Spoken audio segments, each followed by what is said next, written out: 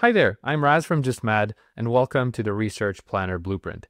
If conducting research is an important part of your work and you're looking to bring structure, clarity, and better collaboration to every stage of your research process, you're in the right place.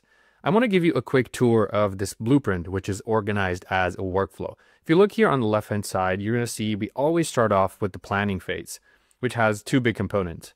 The Research Alignment Workshop. This is an activity that you run with your team to align on goals, research methods, and also assign responsibilities. And next, you have a research timeline. This is where you add tasks, track progress, and manage deadlines effectively. Next up, you're going to notice we have dedicated sections for each type of research method direct interviews, surveys, and competitor research.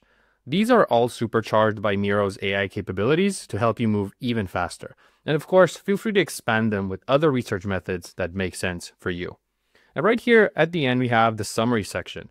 This is where your team works together to gather findings, draw insights, and even create something like an executive summary that you can present to stakeholders. Keep in mind that every section includes built-in talk tracks with step-by-step guides on how to maximize that particular area, so make sure to check that out. And I think that's pretty much it for this walkthrough. I truly hope this blueprint can uh, bring structure to your research projects. Uh, I thank you so much, and I wish you happy researching. Have a good day.